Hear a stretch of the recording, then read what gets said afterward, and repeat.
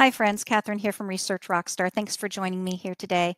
Today, I'd like to talk about survey research. And the reason why I want to talk about this is that I, I know, and many of you know, that there is a very particular focus right now on improving the quality of survey data. I think a lot of this is driven by the fact that now survey research is just part of a, a broader data driven decision ecosystem, right? So, so many organizations these days have really embraced data driven decision making and they have bigger ecosystems of where they're getting various information for that. Survey research is certainly one of those sources, and there are many others. But now that there are a lot of different sources of information, what we are often seeing is that there's a higher expectation for rigor. That is, if we are going to do survey research, many clients expect us to be able to demonstrate that the survey data is of truly high quality. In fact, in my experience, I would say there's more emphasis on survey data quality these days than I've seen in a while. Part of that may also be because there's a bit of a negative halo right now over survey research because of some things that have gone on in the press with political polls and things like that the last few years. Um, but whether it's for both reasons or other reasons, um, when I what I definitely see is that there is a lot of emphasis on if we're doing survey research, it has to be rigorous, and I have to really be confident that I am going to be creating data that is truly accurate and reliable. One of the ways of improving potentially the quality of our survey data is by conducting mixed mode surveys. So let's take a few minutes to make sure we all know what mixed mode surveys are, what some of the options are, and what some of the pros and cons are. So first of all, at a highest level, when we talk about mixed mode surveys, um, as a comp a simple definition, basically a mixed mode survey is any survey that uses more than one mode. I know, a little bit silly, but that's what it is. Now, you will sometimes see people refer to multi-mode surveys especially if you read some of the different journals that serve the marketing and market research space. Um, in some of those journals, you'll see the references to multi-mode and some will refer to mixed mode. Um, but when I see these references, they do usually mean the same thing. Now, when we think about this, what are the different modes? Well, these days there are a lot of different ways we can uh, collect survey data. So while many people do default to online surveys, technically speaking, we can be doing face to face research. Great for authenticity, right? Um, if you're doing face to face research, if you're doing mall intercepts or intercepts at other in person events, or even some folks are doing more door to door research, obviously there's an authenticity benefit there. Interactive voice response is an option. Of course, mail surveys, so sending postal mail to invite people to an, either an online or a phone survey, um, or to actually include a paper survey as part of that. Um, online surveys, which of course many of us do a lot of, different types of telephone surveys, landline surveys, cell phone surveys, and of course now there's some really interesting things going on with text messaging as a way to have people participate in survey research. So we have a lot of options for collecting survey data these days. All right, so that's great. There's this idea of being able to do mixed mode surveys, but how do we actually do it? So if we think at the very highest level, there are a couple of points of view to think of. One I like to call researcher's choice. So this is when I, as the researcher, am planning a survey project and I know that my population is diverse. For example, I might say, you know, there's some people in my audience who really are unlikely to respond to an online survey they might be more likely to respond to a paper survey delivered by postal mail. And if that's the case, then that's great. Then maybe rather than trying to force everybody into the online survey, I should be segmenting my sample and inviting people to participate in the way that's going to get the best data from them, right? The best response rates from those subgroups and the best quality data. So in that case, it's the researcher's choice. Now, what some folks will do is they'll do that sort of as an iterative process. They may not do it right from the beginning. So some folks will say, okay, I know enough about my target population where I'm going to make some of those decisions right up front. But for other folks, they're using the mixed mode as a way to um, to have an iterative process. So they might start with email invitations here. So they might say, oh, you know what? I'm going to have email invitations uh, to our survey. And if people respond, great. But if I have non response, then I'm going to do telephone. I'm going to contact those people by phone and try to collect their data that way. Oh, I pick up some more people there? Fantastic. I still have some non response. Then at that point, maybe I go to a third mode. Maybe it's door to door or face to face. Maybe it's paper or something else. But in that case, it would be a sequential, um, uh, a sequential effort. In this case, using three different modes. The other option is what I call participant's choice. Um, and I think of this particularly in those situations that I know many of us have been in where you're doing research with a population that's really hard to reach. For example, have you ever done research with a really over surveyed population? So, this is probably going to be really true for some of you who do business to business research. This, in B2B research, we often find that this is the case where there can be populations that um, are really over surveyed. And so, how do we deal with that? Well, maybe we give the participants some choice. It's an opportunity for them to personalize their survey research experience. So, in this case, we might be sending out invitations either by mail or online or phone. And in the invitation process, we're saying to the potential participant, you can respond any way you want.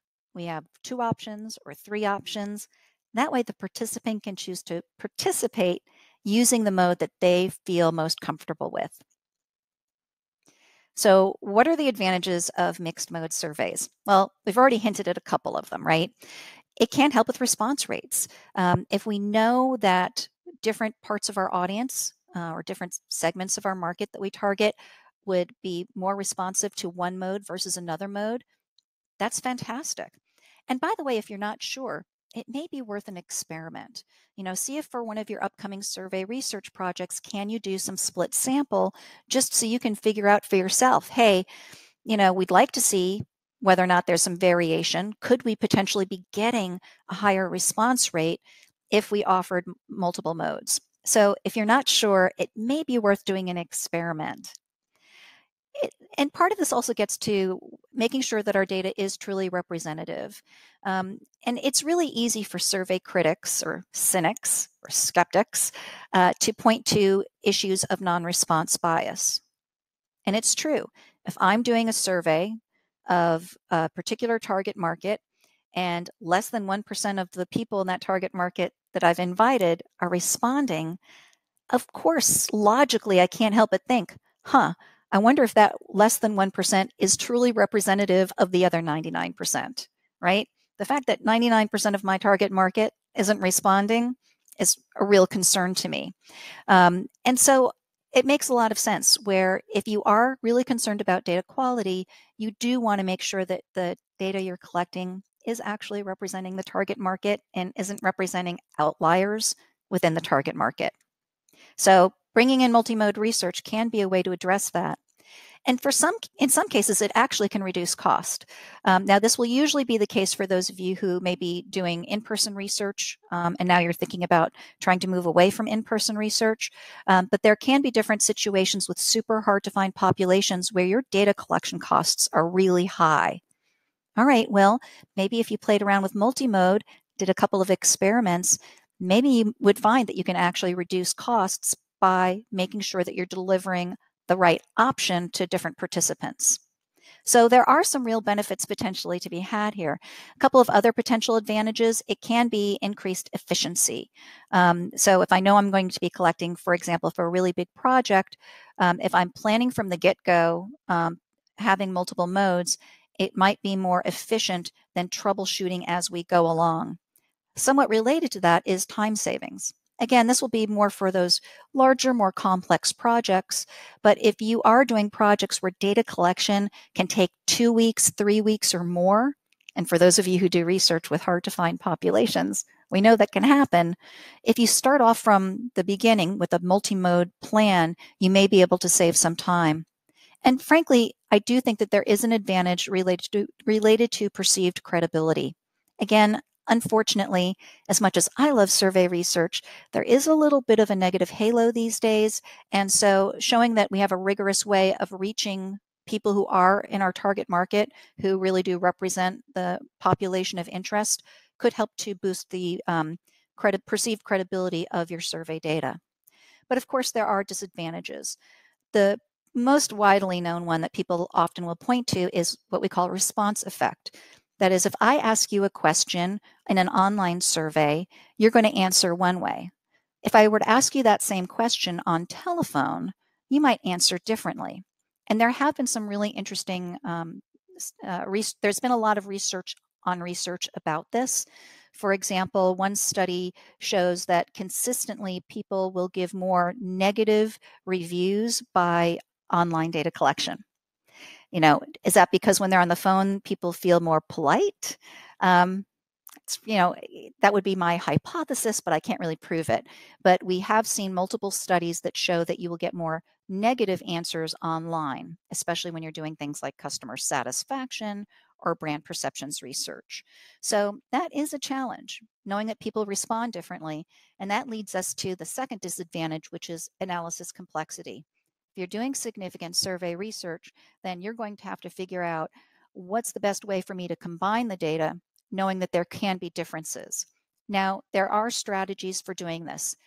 Some of them are a little complex. Um, so I'm also providing links to um, research related to this so that you can get a better handle on what some of those strategies are for adjusting data when you're when you're blending the data from different modes. Um, but the first step is simply to make sure that it's true that your answers are different. So if you do that experiment, for example, if you decide to do an experiment where you split a sample and some people are getting your online survey and some people are getting, say, a, a, a paper survey, take a look at the results. Are they, in fact, different? Maybe they aren't, but they probably will be. and in that case, you do have to make some decisions about how you're going to analyze that data. There are also some challenges around wording variations. How I word something for a phone survey is different than how I word it for an online survey and is definitely different than how I word it in a paper survey. Um, so, in an ideal world, my questionnaire wording would be optimized for that mode of data collection. So, if I am doing multi-mode data collection, I'm either going to I'm going to have to make some choices probably some compromises because I'd rather have my wording be consistent across modes um, than adjust it per mode and have even further risks of response effects. So it's not necessarily easy, but there are known strategies. Um, because this is an important topic, actually, um, I recently put together a little compendium on research about mixed mode data collection, and it includes some really great citations. Um, and so there is a free download available at researchrockstar.com slash mixed mode. Uh, so check it out. Um, do check out the citations, and I'll also put um, a couple of further links here in the show notes. So I hope that was a good conversation for folks, a good topic to think about. If you tend to default to online data collection, maybe this is a good time to just take a little pause and think is it really still the best thing for all of our projects, or should we be experimenting with mixed mode data collection? If you found this useful, please do like and subscribe. And if you have any questions or comments, you can always contact me at Research Rockstar. Thanks.